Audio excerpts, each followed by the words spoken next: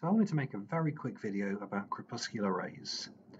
So uh, you'll see many flat earthers talk about crepuscular rays, which are these kind of sunlight rays you see in the picture uh, streaming through the clouds. And as you can see, uh, it looks like those rays are diverging as they come towards us.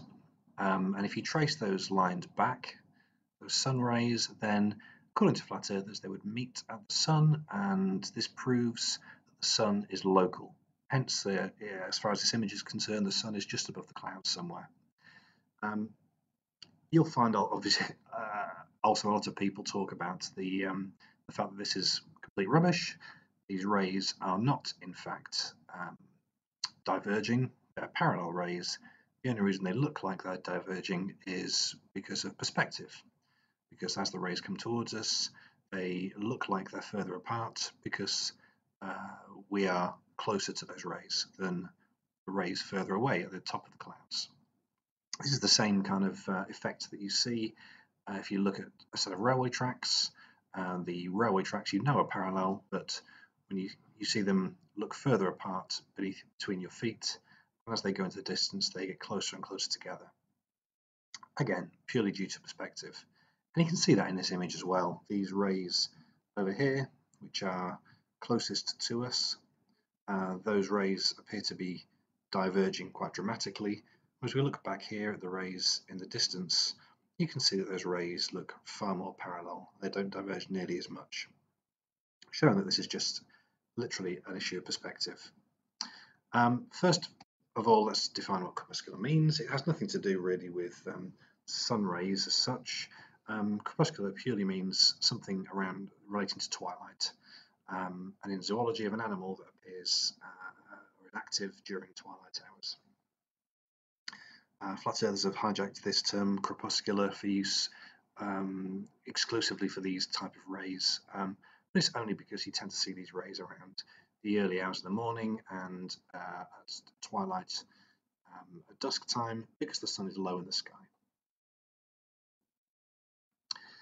Now it stands to reason that if the rays are diverging, the sun rays were diverging, as flat earthers claim, that shadows would also diverge when viewed from above. Well, let's take a look. These, um, this picture of some uh, giraffes with a, a, an obvious low sun, long shadows, and those uh, those giraffe shadows certainly don't appear to be diverging. They look parallel to each other. We can see the same with buildings. If we look at these images of buildings, then again, these are long shadows cast by the buildings. If the sun was local, then these shadows would be splaying out from each other and diverging from each other. You can see they're not.